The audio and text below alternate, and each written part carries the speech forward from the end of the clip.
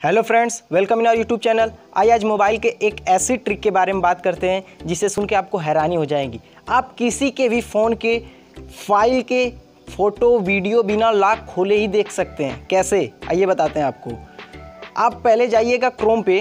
Chrome पे जाने के बाद ऊपर होम पेज होता है। होम पेज पे जाने के बाद लिखिएगा file colon triple slash S D card slash okay करिएगा, आपके सामने फ़ाइल खुल जाएगी।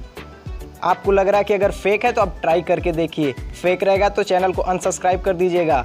और आपको प्रूफ चाहिए तो इसी में आगे वीडियो हम रिकॉर्ड करके दे रहे हैं। धन्यवाद।